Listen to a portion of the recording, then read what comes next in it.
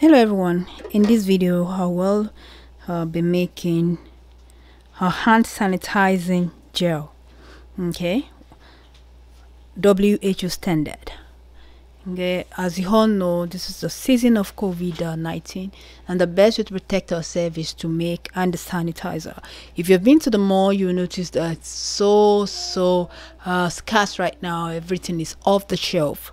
Um, so i just put this together to help uh, fellow form formulator and other people that may you know benefit from it. You can look in the description box below for the spray version of this uh, this recipe. I just made uh, the spray version on my on skincare queen my second youtube channel you can look there for the detail instruction. I used to create the spray version. But for us on this channel i want to make the gel version. I will be using hydroethyl cellulose okay? Hydroethyl cellulose x is um a, a polymer derived from wood okay? So it's a bit it's natural and also i will I will add preservative to this i will be using Geogard ECT so i want to make this as natural as possible. And also i'll use isopropyl alcohol 99.9 percent so for effectiveness. I think for this i don't really need water but i don't really need uh, a preservative. But because i'm adding a bit of water i will have to add preservative. So i've already predisposed uh, the gum. Hydroethyl cellulose take time for it to swell. So i disperse this in water few moment ago. But usually you should disperse this in water at least for 30 to 60 minutes for effectiveness so as not to have separation uh, it's very soluble in water so i'll first do that in the water uh, part. So for this i have uh, you look in the description box below for the link to the ball so i'll just show it to you. I have uh, 120 ml of isopropyl alcohol and don't worry about the spray. I'm doing the gel version right now. So um this is the recipe i use. I'm not following the percentage formula just because it's the WHO standard so i just want to go with that so this is the one i'll be using 30 ml of distilled water. So let me take my distilled water first. Look in the description box below for link to full full recipe.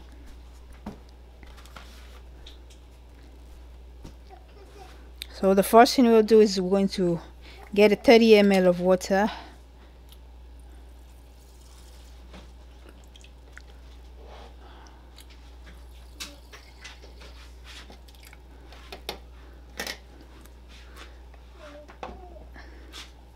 then we'll add a bit of the predisposed gum to it. This is not xanthan gum.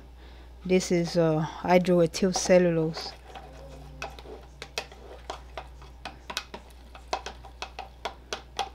It dissolves easily in water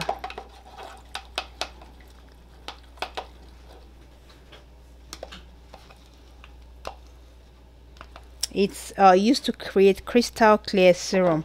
As you all know uh, xanthan gum does not create crystal clear serum but this will create crystal crystal clear serum much much better than xanthan gum. It's gelling up right now so I might have to put this in my homogenizer or I might use uh, my immersion blender okay so I might have to use my immersion blender for this. I'm not sure how alcohol is going to react to it. I've never used I must confess that I've never used this with alcohol before. So let's see how it turns out. I I chose this over xanthan gum because it's going to give me a crystal a crystal clear, you know. It's going to give me a crystal clear sanit and sanitizing gel. Blend it with my immersion blender.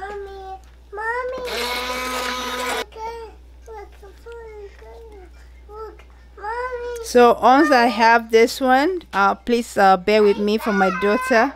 I'm so sorry. She just came from nowhere. Uh, wanting my attention, but I'll go shortly. So this is it. Right, I use my immersion blender to give it a more a smoother consistency. so the next thing we want to add is to add add the hydrogen peroxide 7.5 hydrogen peroxide I am afraid that this might separate with the introduction of this when I had the isopropyl alcohol 99.9% but let's see how it turns out. That's why we're formulator we try things right? So 2.5 ml of glycerin.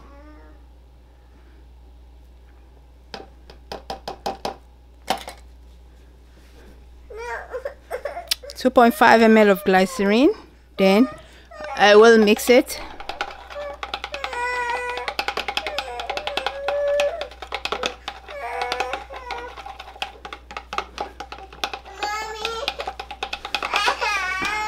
I'm not sure how this will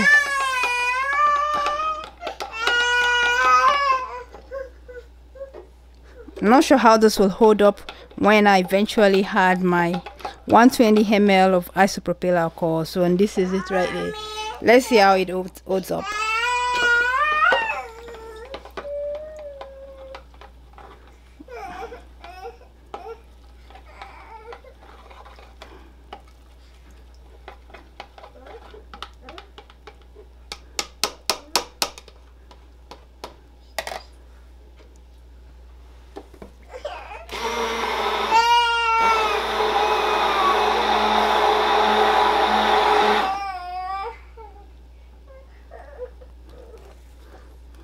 using my immersion blender.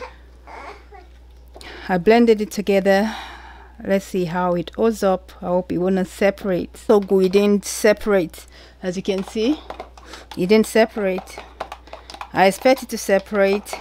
Now what I'm left it to add now is my preservative. Interesting it didn't separate. And see how clear it is if you if I use um,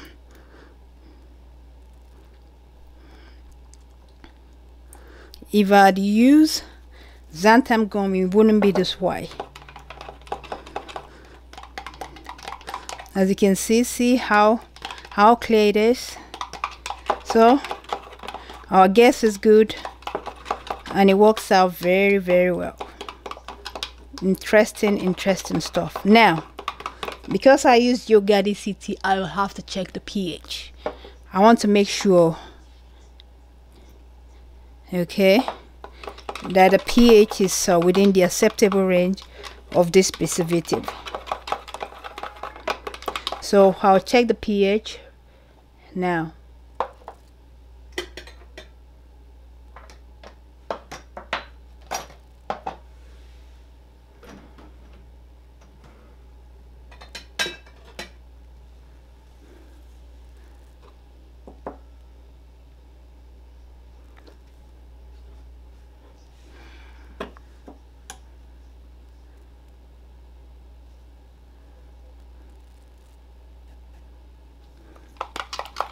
interesting interesting. It came out perfectly. Perfectly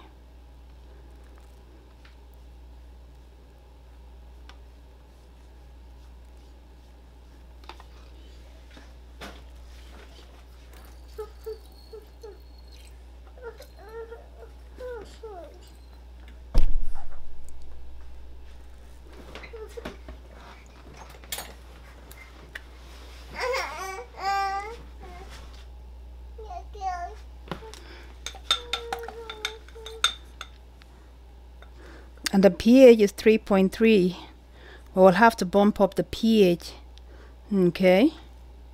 To be safe I want to bump up the pH to 5 to 5.5 so I'm going to increase the pH okay with uh, sodium hydroxide solution. I've made that solution in this uh, channel but I'll leave a link in the description box below also so it's 3.3 okay? The pH 3.3 will have to adjust it to make sure it's uh, it conforms to that of the skin.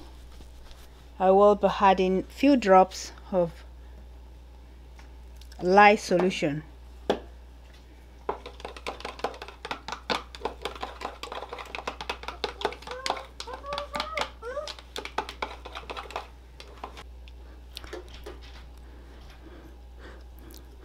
next thing to do now is uh, I'm checking the pH of this uh, hand sanitizer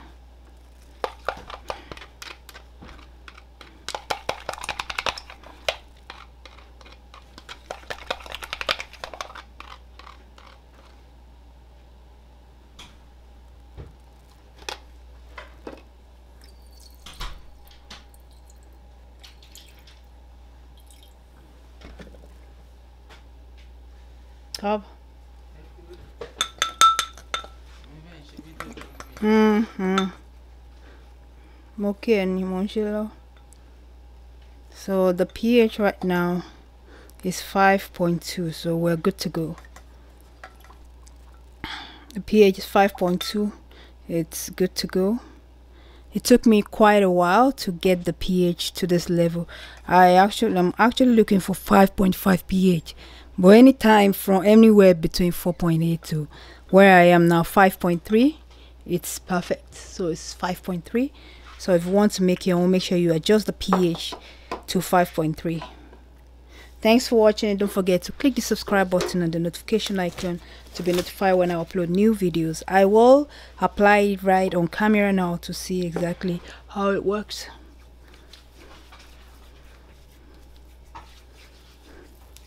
It's very refreshing and it's